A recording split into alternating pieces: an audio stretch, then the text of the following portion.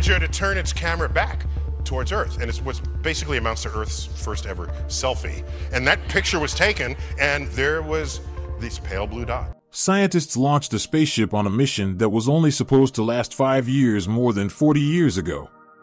To everyone's amazement, however, it remains in space and continues to provide us with random data and cryptic messages.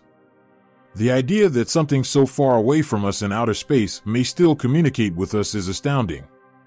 But scientists are scared and confused by the communications. Come explore the Voyager spacecraft's amazing journey and the mysterious communications it still sends back to Earth from billions of miles away.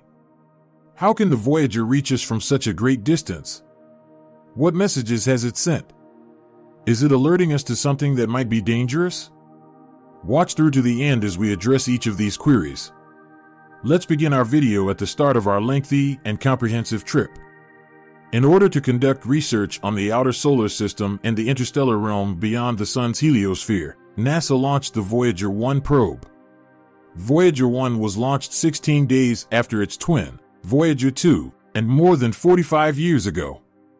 As of January 7th, it is more than 15 billion miles away from Earth and communicates with it using NASA's Deep Space Network to send and receive data and receive routine commands. It is the farthest artificial object. NASA started planning the journey in the early 1970s after a grand tour to study the outer planets was suggested in the 1960s. To increase the Voyager spacecraft's resilience to Jupiter's harsh radiation environment, engineers used information from the Pioneer 10 mission. Voyager 1 was originally intended to be Mariner 11 in the Mariner program.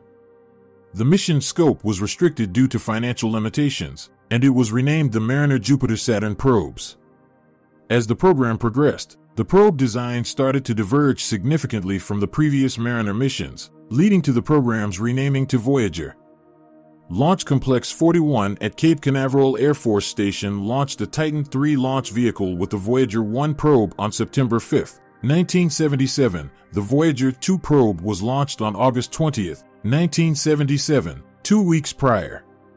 Voyager 1 took a shorter route and reached Jupiter and Saturn before Voyager 2, despite being launched later. In January 1979, Voyager 1 started taking pictures of Jupiter. A closer approach allowed for higher photographic resolution, and most studies of the moons, rings, magnetic fields, and radiation belt environment of the Jovian system were made within 48 hours of the closest approach.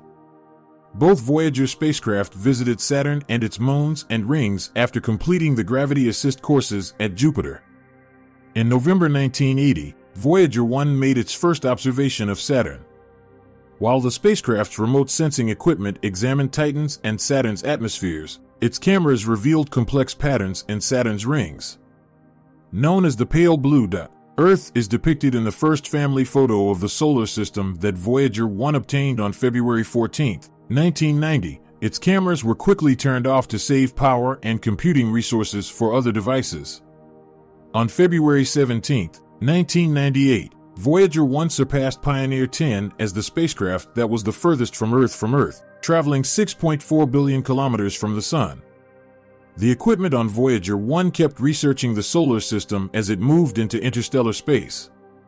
Like its sister spacecraft, Voyager 2, the spacecraft's extended mission is to identify and investigate the outer heliosphere's areas and borders as well as to begin exploring the interstellar medium.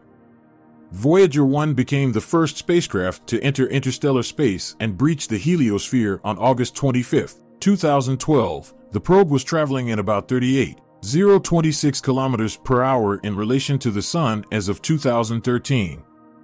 At the moment, Voyager 1 is covering about 325 million miles annually, or roughly one light year every 18,000 years. Additional evidence that Voyager 1 is in interstellar space was provided by the third tsunami wave of coronal mass ejections from the Sun, which started a year later and continued until at least December 15, 2014, Voyager 1's lifetime was further confirmed in late 2017 when the Voyager team tested the spacecraft's trajectory correction maneuver engines. These thrusters hadn't been fired since 1980 before this. The mission was able to be extended by two or three years because to this research. However, throughout those years, the Voyager and the data it has been sending back started to do odd things. This is when the interesting part starts. The surprising data that the Voyager 1 probe returned from interstellar space has left NASA engineers baffled. NASA's Jet Propulsion Laboratory said that measurements of the spacecraft's orientation in the 1970s seem to have been taken at random or don't represent the spacecraft's potential orientation. The Attitude Articulation and Control System, or AACS, which tracks, reports, and modifies the vehicle's position in space, is the source of the erroneous data. To send data home, the device keeps an antenna pointed toward Earth Given the current unusual circumstances, the long duration mission's future is uncertain. The limitations seem to be in place as Voyager 1 continues to send data from its scientific sensors, even though the data is unintelligible, the U.S. Space Agency said. Other than that, it appears to operate normally. A riddle of this kind is somewhat anticipated at this point in the Voyager mission, said Suzanne Dodd, project manager for Voyager 1 and 2. At almost 45 years old, Voyager 1 and 2 are both far older than their anticipated lifespans. She has said that surprises are almost certain because interstellar space is a high radiation environment that has never been explored by a spacecraft. Light takes 20 hours and 33 minutes to travel the 14.5 billion kilometers that Voyager 1 is from Earth. Two days pass between sending a message to Voyager and hearing back. Dodd says the engineering team has a lot of challenges. However, if it can be done with telemetry, the team will figure it out. By altering the software or using one of the spacecraft's backup hardware systems, engineers might be able to fix the issue once the root cause has been identified. They might have to tolerate the differences, though, if they can't identify the cause of the issue. Voyager 1 and its companion, Voyager 2, began their solar system exploration in 1977. Originally, they were meant to be used for research on Jupiter, Saturn, their moons, and Saturn's rings. For the journey of two planets, they had to endure a mere five years. Engineers increased the mission's goals to include Uranus and Neptune, two extra large planets, following their initial success. The pair of spacecraft have visited four planets, 48 moons, a variety of planetary magnetic fields, and many planetary rings. The spacecraft's yearly power production is reduced by about 4 watts, which restricts how many systems it can run. To save energy, the mission team has shut down the apparatus. To date, no scientific apparatus has been decommissioned. NASA wants to continue using the Voyagers until 2025.